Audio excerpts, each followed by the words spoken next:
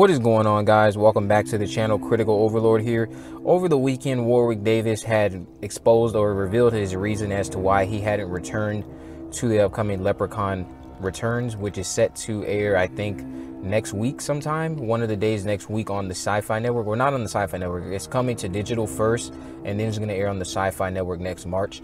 Uh, the film is going to be a direct sequel to the first film from 1993, which starred Jennifer Aniston uh, this movie is a erasing Leprechauns 2, 3, In Space, In the Hood, uh, Back to the Hood, and the one that WWE did back in 2014.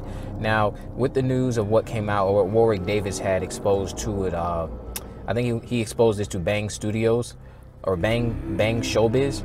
Um, I read I wrote an article about the about the issue or about his revelation, and I had it published. Uh, basically, what he ended up saying is that he's not doing any more horror films because he wants to focus on his family and that's kind of why he had that's why he won't be appearing in any future leprechaun movies. That's why he isn't involved in this upcoming project. Uh, he wants to he says that like when you have kids you see things differently through their eyes and he just doesn't feel it's right to participate in films like that when he when he wants to come home to a loving family in the end of the day. He doesn't think that that's something he wants his kids to be exposed i i, I way i see this i don't think he wants his kids to necessarily be exposed to some of the films he did in the past. So, like the Leprechaun films, I'm sure he'll want his kids to watch them when they get older to appreciate what their father created. Uh, for so many, for so many uh, fans such as myself in the horror genre that love the Leprechaun series, despite the fact that this series is bad.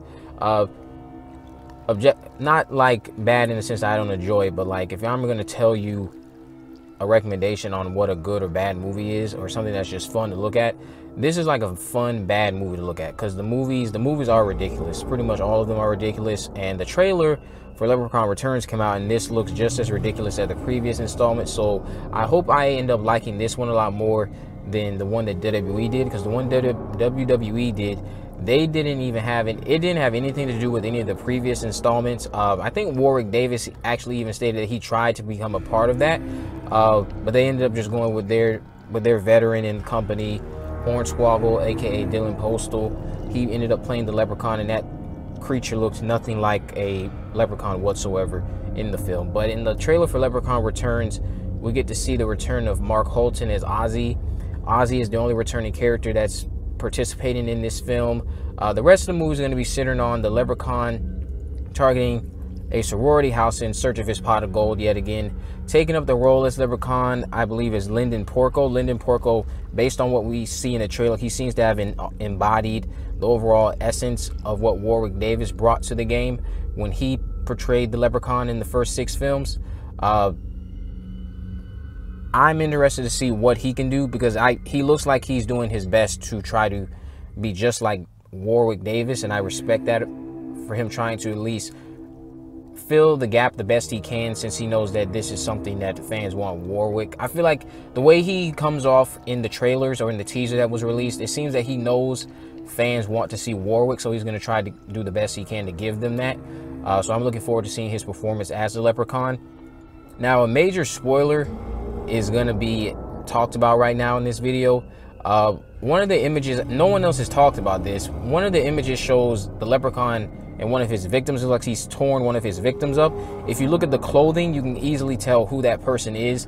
It looks like the leprechaun is going to finally kill Ozzie. So after 20, so 25 years later, after failing to kill him all those years prior, the leprechaun is now going to kill Ozzie. And it also seems that one of the characters in the movie is going to be the daughter of Jennifer Aniston's character from the first film. Now, I don't really care that Ozzie is going to die in the movie. Um, I'm just ready to see another Leprechaun movie. I want to see how ridiculous it is. I'm going to tell you how bad it is too. Um, if there's, I'm expecting something funny, some a lot of hilarious moments to go in, and I'm expecting bad editing. I'm expecting cheesy acting. I'm expecting, like, just I'm expecting the worst of the worst. And I I don't know why, but for some reason, it, I think it's because I saw these at a young age. These films are just stuck with me as just like funny films to watch. I don't take them seriously at all, nor should you. Uh, they're just horror comedies. They're just cheesy, like B B minus horror movies. That's all they are. Um, but yeah, Warwick Davis ex- explained why he won't be returning. It's because he wants to he wants to focus on his family and his children But let me know what you guys think about this down in the comment section below. If you enjoyed the video, give it a thumbs up. If you haven't already, subscribe or turn on post notifications. In the description, I'll have links to all my social media accounts. I'm on Facebook, Twitter, and Instagram. You can message me there to let me know what movies or news you would like me to review or cover in the future. Uh, I also have a description to the article that I wrote down in the bio.